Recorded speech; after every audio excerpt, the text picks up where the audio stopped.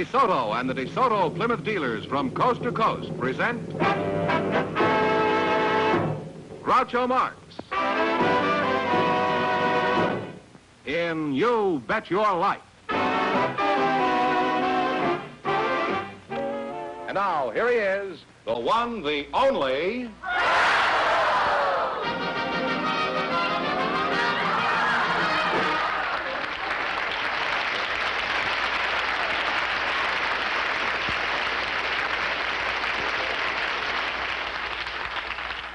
Well, somebody up there likes me. well, here I am again, starting my 10th year if You Bet Your Life. I had an uncle once who was on the air for 10 years, but there was a rope around his neck. well, tonight, each of our couples, uh, George, I want you to know this, have a chance to win $2,000. And if any of them say the secret word, they'll win an extra 100 And the word tonight is uh, book. Right. Mary Ann Badger and Mr. Jose Luis Flores are waiting to talk to you, so thought you'd come in, please, and meet Groucho Marx. Welcome to You Bet Your Life. Say the secret word, and you divide an extra $100.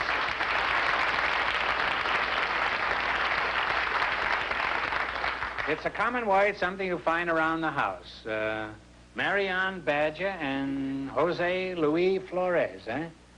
Jose, uh, how old are you? Twelve. Twelve years old. You must take very good care of yourself. You look about 40. Mrs. Badger, where are you from? Wisconsin? No, from. Isn't that where the Be- you know where? Bemus Point, New York is? Where? Bemus Point, New York. Bemus Point? No. Oh, it's a beautiful summer resort right along Lake Chautauqua, and uh, it's a residential district for Jamestown. What kind of a name is Badger? Isn't that a game they play in Wisconsin? Oh no, we're The a Duke's Badger mixture. Huh? We're a Duke's mixture. You're a Duke's mixture? Yeah. You Before I was married, I was a wolf, though. My name was Wolf. And Wolf married a Badger. Wolf? Your name was Wolf? And you married a badger? Well, it could be worse. One of my neighbors claims she married a skunk. well, you're a lovely pair of contestants, and I'd like to go on talking to you two, but the time has come to play You Bet Your Life. Now, you understand the game? Yes. Yes, we do. Well, I wish I did. You selected... You selected mythology. That's a pretty high-class category you took there. Who was responsible for that? He is. Oh, I see. Well, I'm going to ask you a whole lot of questions. If you get four in a row right, you win a $1,000, plus a chance later to win 2000 However, if you miss two in a row, it's goodbye, Charlie. Is that clear? You selected mythology. I'll keep asking questions until you either get four in a row right or two in a row wrong. Who was the king who turned everything he touched into gold? Midas. Midas. Midas. Might as well be... Well, three more right, and you'll have your thousand dollars. All right, who is the goddess of the hunt or the chase? That was not Diane. Uh, Diana? Diane at the crossroads. Only two more now, and you'll have a thousand dollars. All right, uh, where was the home of the gods? Mount Olympus? Oh, this kid knows what he's doing. This next one's important. One more, and you're with your thousand dollars. All right, what is the name of the wand carried by Hermes? I guess H-E-R-M-E-S, Hermes? Oh. It is also the medical insignia used in the United States Army. Hmm. Talk it over, you have a partner. Hmm. Hmm. Don't know it. Well, it's Caduceus. If you get the next one wrong, it's uh, goodbye, Charlie. What was the name of the winged horse? Say it. You say it. You say it. Pegasus. Pegasus is right. You're on your way again. Three more to go. Now, George, there's nothing personal in this next question. I want you to understand this. Who was invulnerable except for his heel? Achilles. Who? Achilles. Achilles is right. You're halfway to the thousand again. Two more right, and it's yours. Medusa had peculiar things in her hair. What were they? Snakes. It's a fine thing to be walking around with. What was the name of the god of the lower world? Uh, Pluto. That's right. You don't go any further.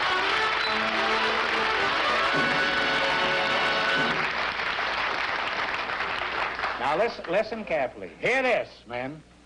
You won a thousand dollars. You can keep it and quit, or else you can go for two thousand at the end of the show. If you try for the two thousand later and miss it, you wind up with five hundred dollars for the night. Now you go back and think it over. It's an important decision. You bet your life. Now go over and sit down.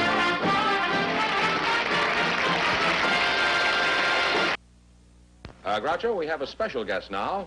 your partner and producer of You Bet Your Life, Mr. John Guedel. Mr. Guedel, come in, please. Meet Groucho Marx.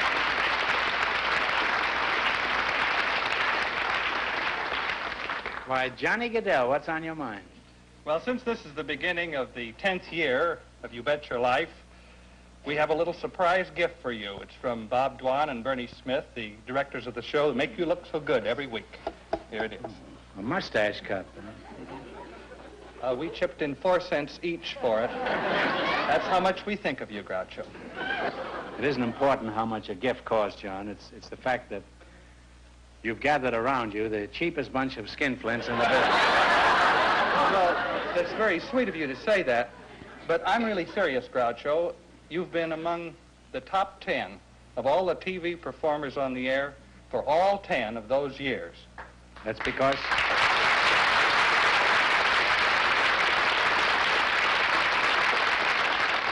Even That was because I stumbled into you one day, John.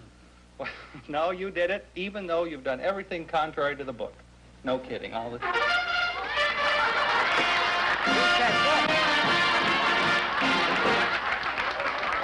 You said book, and that's the secret word for tonight. I know it. Thanks, Mom. What a sneaky way to get a hundred dollars, huh? Okay, John, beat it. Walk like a penguin. No, I'd rather not. It's not dignified. Well, if you don't, I'm quitting. This is my last year.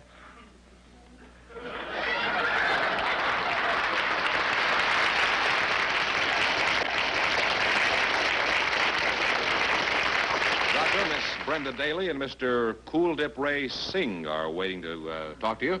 So, folks, you come in, please, and meet Groucho Marx. Welcome to your Bet Your Life. Say the secret word and take home an extra hundred dollars between you. It's a common word, something you see every day. Brenda Daly and Cool Dip Racing. Huh? Is that is that the way you pronounce it? Cool Dip? Yes, it is uh, like Oh. the word cool, Yeah. Well, I had that this morning in my swimming pool. it, and Cool it dip, means huh? uh, Prince of Light. Prince of Light. Huh? Well, where are you from, Cool Dip? Well, I come from the beautiful, romantic valley of Kashmir, surrounded by the biggest, wonderful mountains of the Himalaya. You calling me a liar? Did you say? Himalaya. the Himalaya mountains. Oh, I thought you meant me. huh? and where are you from, Brenda? Well, I'm not from such a romantic place. I was born in Hamilton, Ohio, and we came out here when I was three, and I've stayed out there since. Well, you may not have come from a romantic place, but uh, you look very romantic. How, how old are you, Brenda? 16? 16, huh? Are, are you married? No. You're not married? You're 16 years old? I'm sure you must have about 10 steady boyfriends if you're 16. Uh, What is your favorite boyfriend like, uh, Brenda? In addition to you, I mean. Let's see, he has uh, black hair and blue eyes, and he's about five seven and a half. How'd you meet this charmer? See, the school I go to, on the corner, there's the thrifty drugstore. And this one particular day, they were having a sale on banana splits. In And the school? No, at Thrifty's. Oh. And they were marked down from 49 cents to 35 cents. The splits were marked down from 49 cents to 34?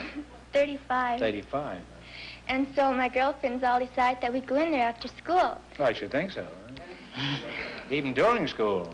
A sale like that.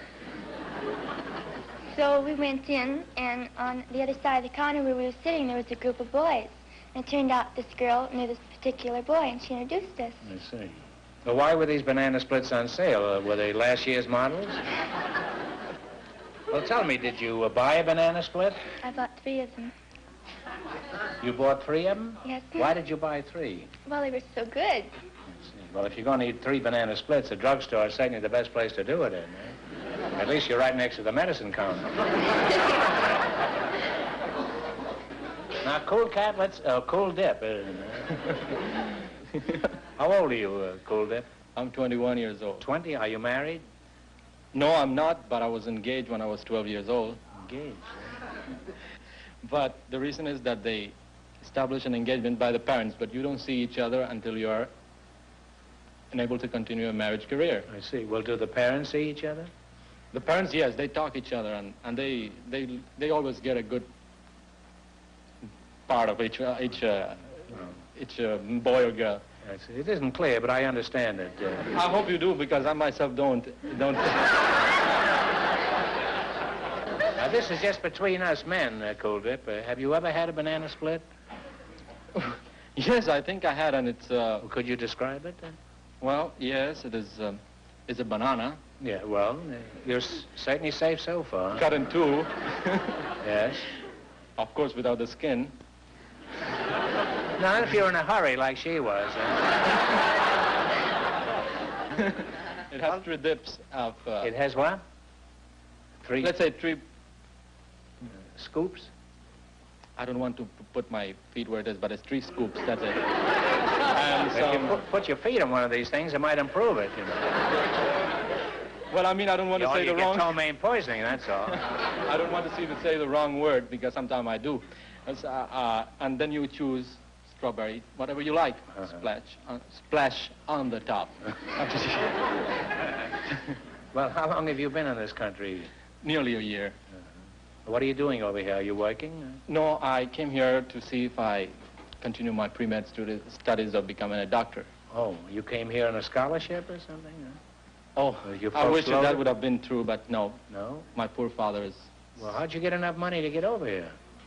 Well, You come by camel? I did halfway, No. yes, but the other way I had to take a boat. You know, they don't swim. Some of the some of the boats do. I mean the camel. Oh. well, you're young and handsome and single. Let me ask you a very profound question. In your opinion, do American girls, how do they stack up against, if you pardon the word stack, how do American girls, how do American girls stack up against girls in other parts of the world? I have three type of women, and I think You have three type of women at the moment? I know. Oh, And this is the Indian woman. I bet he's a killer with these names, huh? Uh, the Indian woman is shy and full of love after you get married. The Spanish woman is very warm, vivacious, and won't let you go. We won't let you go where? Where, where, any place. I know the finish. The American women are full of banana splits.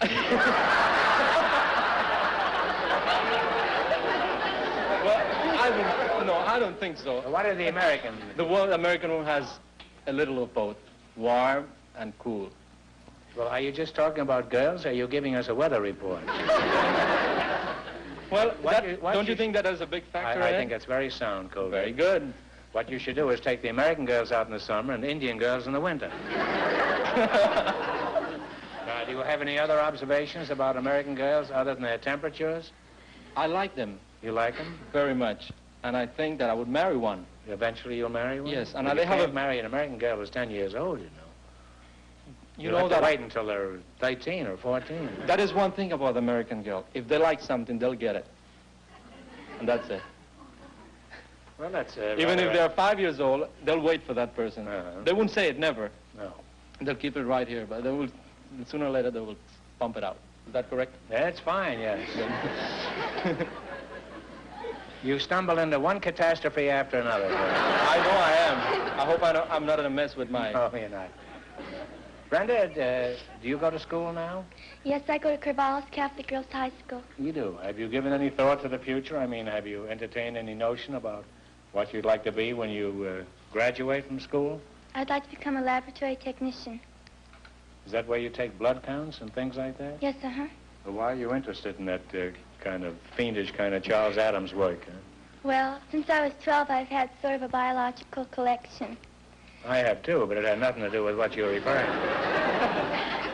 Well, see, Could you mind amplifying that a little bit? The Well- audience and Cool Dip and me? Well, I have What do you have in your collection? calf's hearts, A calf's heart? yes, uh-huh, and cow's eyes, and grasshoppers, and spiders, and bacterial cultures, and blood cultures, and a whole bunch of things. You know that practically everything you mentioned is part of me? I've got a calf's heart, cow's eyes, and grasshopper legs. That's a pretty macabre collection you've got there, Brenda.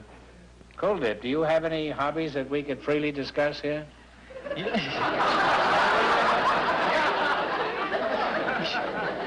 Well, What do you think of uh, Cool Dip, Brenda? Oh, he's real cool. is that good? Yes, that's good. Well, my name is good then. Cool, cool dip. Tell us about your well, hobbies. after my hobbies, live in my country, Yes, uh, I like to sing very much. Oh, really? Yes. Well, have you studied singing? Yes, I have studied as a hobby together with my career. About What kind of singing, singing do you do? oh, I'm a baritone. I like opera and I love the beautiful love songs. Do you do any of the uh, Presley kind of stuff? huh? No, I am. You're not a hip shaker, huh? I, I can't move like that. I do it better looking. Oh, I see. Well, you you are better looking too. Huh? well, uh, do you plan on making a career as a singer? There is something I love to do it, but I don't know if this wonderful American audience will accept me. And if they would, I will must be. I would be much delighted to be the ambassador of my country to this. Well, it's a city. tough decision. You could give us a few sample bars of your voice. Could I? Perhaps our listeners could help you make a decision. Would you want to give it a try? Well. All right. Would you need the band? Uh... Sure, I think it's. Thank you. I will A lot of women out front are planning on leaving their husbands. Uh, They're very. soon as from this here, is they over. look all beautiful. oh boy, is he a shoe in, huh? no, I mean it. I mean it. I do mean it, really. What song would you like to uh, hack away at? well, since we have been talking about women, what about a woman in love? A woman in love? Well, what about a woman? What what key would you warble that in? The key of G. Mr. Meakin, uh, could you, uh, your group, give Mr. Sing Sing a hand with, uh, with uh, Woman in Love in the key of uh, G. G? Well, we're going to leave it up to our listeners, Cool Dip. If they think you ought to become a singer, they're going to write and tell you so. And be sure to let us know how it turns out. I out. will love each little thing of them. It's, it's a great help. You just write in. If you want him to be on a show, I'm sure he'll get a show of his own. Well, you're nice youngsters, and I think you sing real good, and you have a wonderful personality, and I wouldn't be surprised if you and Brenda get married inside of six months. and have a half a dozen little banana splits. well, right now, your future depends on how well you can play You Bet Your Life, and since you're a college man and you're a college girl, high school girl, you, this ought to be a cinch for you. You selected world geography. Remember, if you miss two questions in a row, you're out. If you answer correctly any four questions in a row, you win $1,000, plus a chance to try later on for the $2,000. Good luck. You selected world geography. Remember, I'll keep asking questions until you either get, either get four in a row right or two in a row wrong, and just one answer between you. Are you ready? Here we go.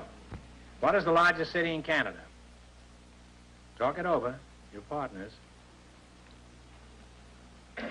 I know that one.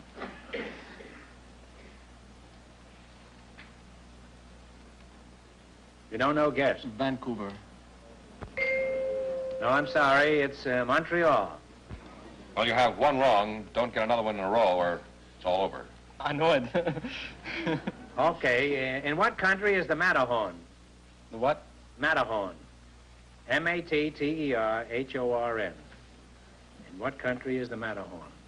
Do I have to say the country? Uh,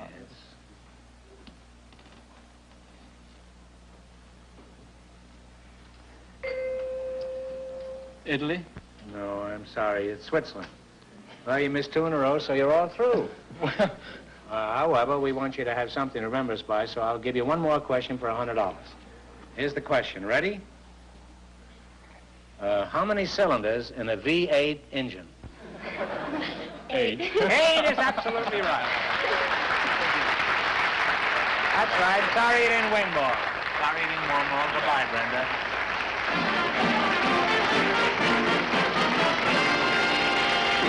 Well, that means that our first couple, Mrs. Badger and the little boy, who got four in a row correct, are entitled to try to double their $1,000 and wind up with $2,000 for the...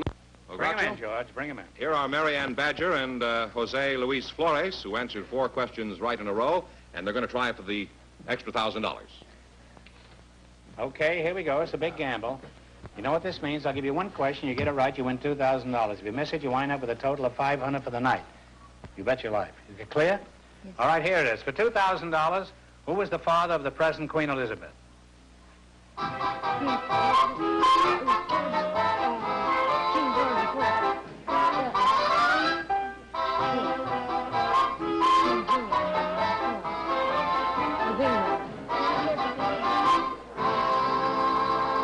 What's the answer you decided upon? George the oh, sixth of England. George, the King George, the the Which one? Was it the fourth or the sixth? The sixth. Right, right. King George VI.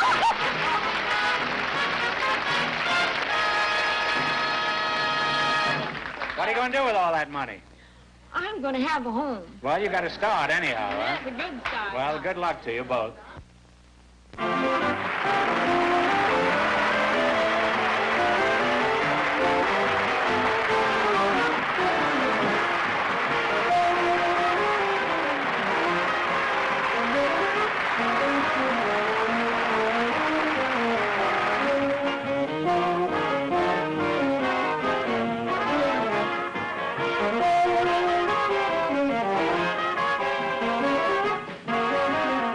This is George Fenneman signing off with a reminder from the National Safety Council. September is Child Safety Month. So parents, teach them to cross at corners, obey